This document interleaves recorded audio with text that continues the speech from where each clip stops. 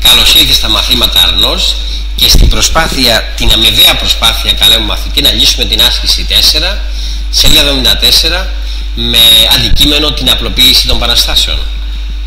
Η α, το α, το β και το γ ερώτημα είναι κάποια κλάσματα όπου οι αριθμητές και οι παρομαστές είναι κάποια πολεονυμάκια. Έτσι. Και μάλιστα είναι πολυόνυμα τα οποία είναι τι δευτέρου βαθμού και τρίτου το τελευταίο. Ας τα πάρουμε σε μία σειρά ένα-ένα. Να ξεκινήσουμε με το πρώτο.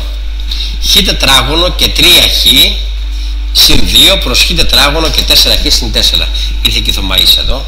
Λοιπόν, οπότε, για να πάρουμε την προσπάθεια να παραγωγοποιήσουμε, δηλαδή να δέσουμε αυτό που λέγαμε σφιχτά σφιχτά τους όρους του κάθε τους όρους του κλάσματος, δηλαδή τον αριθμητή και τον παρονομαστή, να τους δώσουμε σφιχτά σφιχτά και για να δούμε κατά πόσο μπορεί να γίνει η απλοποίηση. Πάμε. Έχουμε δίπλα εδώ χ τετράγωνο και 3χ και 2. Έτσι. Τα τεστ, τα, τα tricks, τα, τα διάφορα για να παραγοντοποιήσουμε αυτό εδώ πέρα που δεν είναι τέλειο τετράγωνο είναι τα α και β που έχουμε αναφέρει σε προηγούμενο κομμάτι ή επίσης μπορεί να πούμε χ τετράγωνο, έτσι, τόσο απλά και 2χ, έτσι, και χ και 2. Έτσι θα γίνει το χ τετράγωνο και το χ κοινός παράγοντας χ επί χ συν 1, ωραία, μετά συν 2 επί χ συν 1.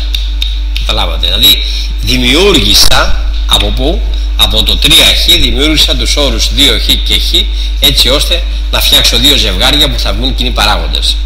Πολύ ωραία έτσι. Γεννάμε ζεύγια έτσι και δημιουργούμε στην ουσία πολλαπλασιάζουμε τα πράγματα έτσι. Δεν τα διαιρούμε. Άρα θα γίνει χ και ένα σε παρένθεση μέσα εφόσον γίνει το χ και ένα και από εδώ και από εδώ θα μείνει το χ συν 2. Έτσι λοιπόν τελειώσαμε με τον αριθμητή. Για να δούμε τον παρομαστή τώρα έτσι. Ο παρομαστής ποιος είναι, είναι ο χ τετράγωνο και 4χ και 4. Ε, αυτό είναι έτσι το υπέροχο τέλειο τετράγωνο του χ συν 2 και όλο το τετράγωνο. Έτσι. Γιατί θα μου πείτε, γιατί απλά εδώ είναι το 4 που είναι 2 στο τετράγωνο και εδώ είναι το διπλάσιο γινόμενο. Δηλαδή 2 επί το 2 που είναι το άλλο επί το χ. Εδώ πέρα. Έτσι. Έτσι λοιπόν είναι το χ συνήθως στο τετράγωνο. Άρα, εάν πάμε τώρα στο αρχικό μας, θα έχουμε. Τι θα έχουμε; Λοιπόν να τη λύσουμε εδώ. Θα πούμε ίσον αυτό εδώ, ίσον. Και γράφουμε τώρα. Ο αριθμητής παραγοντοποιημένος είναι χ συν 1 επί χ συν 2 και ο παρομαστής παραγοντοποιημένος είναι χ συν 2 και όλος στο τετράγωνο. Προφανώς η ποσότητα, η, ο παράγοντας που εμφανίζεται πάνω και κάτω εκείνο ο ίδιος, έτσι και είναι εμπιστευτό τη σπάση, είναι το χ 2. Αλλά κάτω είναι στο τετράγωνο, άρα θα φύγει το τετράγωνο και θα μείνει στην πρώτη. 2 βγάλε 1, θα μείνει 1.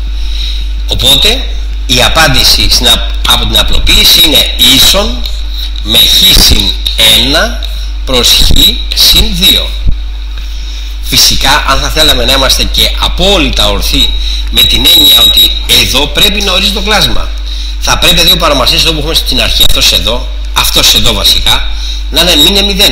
Δηλαδή θα πρέπει το χ να μην πάρει την τιμή πια, τη μείον 2. Γιατί αν βάλεις μείον 2 εδώ πάνω εσύ, ο παρομαστής δεν είναι Δηλαδή ένας θα έλεγα μαθητής με πλήρη επίγνωση της έννοιας του κλάσματος και της πληρότητας της επίλυσης άσκησης θα έλεγε ναι, Δάσκαλε, αυτή είναι όλη η απάντηση με την προϋπόθεση όμως ότι το χ είναι διάφορο του μείον 2.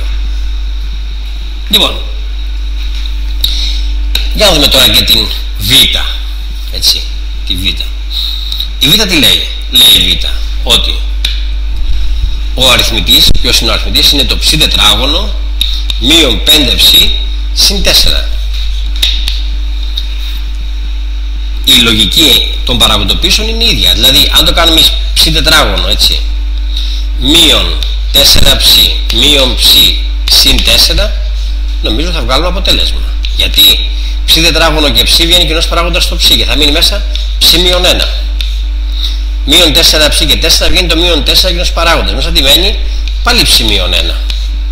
Έτσι λοιπόν αυτό θα γίνει πόσο; Ψ μείον 1 επί ψ μείον 4. Να το. Η παραγοντοποίηση του αριθμητή. Τώρα, ο παρομαστής ποιος είναι; Είναι ο ψ τετράγωνο μείον 6 ψ συν 8. Ωραία. Λοιπόν, αυτό το πέρα τώρα πώς μπορεί να παραγοντοποιηθεί αντίστοιχα; Έτσι. Α, αν πάμε και γράψουμε τώρα το 6 δεν μας βολεύει. Το κάνουμε το 3 και το 2 το 3 στο τετράγωνο. Όχι. Λοιπόν πλέον 6 ψ και 8 έτσι. Εάν πάμε στη λογική των α και β δηλαδή εμείς θέλουμε να έχουμε γινόμενο πόσο 8 και άθισμα μείον 6 οπότε προφανώς είναι το 4 και το 2 άρα αυτό εδώ πέρα για να παραγοντοποιηθεί θα γίνει πόσο ψ τετράγωνο έτσι. Θα γίνει μετά μείον 4 ψ μείον 2 ψ συν 8 δηλαδή η δημιουργία εδώ πέρα είναι λίγο πιο σύνθετη από το προηγούμενο και επικαλεστήκαμε την ιδιότητα που έχουμε αναφέρει νωρίτερα ότι ψάχνω αριθμούς που να έχουν γινόμενο πόσο συν 8 και άθροισμα. Μείον 6 ωραία. Για να δούμε. Τους επιλέξαμε βασικά. Δούμε τώρα κατά πόσο θα βγουν, θα, θα βγουν και αληθινοί στην πράξη. Ξεκινάμε. Ψ τετράγωνο μείον 4 ψ βγάζουμε το ψ κοινό παράγοντα και μέσα μένει ψ μείον 4 μείον 2 ψ και 8 να βγάλουμε το μείον 2 κοινό παράγοντα. Το μείον 2 κοινό παράγοντα μέσα θα μείνει ψ και από το 8 θα μείνει μείον 4 γιατί μείον 4 επί μείον 2 μας κάνει συν 8 άρα πόσο θα γίνει καλά παιδιά. Θα γίνει το ψ μείον 4 κοινός παράγοντας το που είναι οι παρενθέσεις και εδώ και εδώ και μετά μέσα μείνει ψ μείον 2 ωραία. Κολλήσαμε λίγο αλλά τα καταφέραμε κοιτάξτε τα εμπόδια είναι για να ξεπερνάμε έτσι. Και ταυτόχρονα να εξασκούμε τη σκέψη μας για νέους δρόμους. Πάμε τώρα. Πάμε να δούμε τώρα πως θα γίνει το κλάσμα εδώ πάνω. Θα γίνει ίσον ο αριθμητής θα γίνει ψ μείον 1 δηλαδή παροδοποιημένος πως είναι επί ψ μείον 4 και ο παρομαστής θα είναι πόσο ψ μείον 4 επί ψ μείον 2 ωραία. Και αν απλοποιήσουμε εδώ τι θα φύγει; Παρατηρούμε ότι το ψ μείον 4 απλοποιείται και φεύγει. Και μένει τελικά το αποτέλεσμα να είναι πόσο ίσον ψημίων 1 προς ψημίων 2 όμως τι πρέπει να τονίσουμε να τονίσουμε ότι κάποιες τιμές αν τις βάλουμε στο ψι δηλαδή το, εδώ το 4 παράδειγμα και εδώ το 2 αυτές οι τιμές δεν είναι επιτρεπτές δεν επιτρέπεται. Εντάξει και τα απαγορεύονται έχουν τη σημασία τους. Δηλαδή ψι όχι 4 και το ψι όχι 2 δηλαδή αν θέλουμε να είμαστε με ορθή και σωστή με την της πληρότητας της έννοιας του ορισμού του κλάσματος του κλάσματος του αρχικού επαναλαμβάνουμε πρέπει το ψ να μην είναι 4 και να μην είναι 2 και να δούμε και την γάμα θα λέγαμε μια πιο καλή ταχύτητα όμως προκειμένου να την εξασκήσετε, να εξασκηθείτε και εσείς μόνοι σας.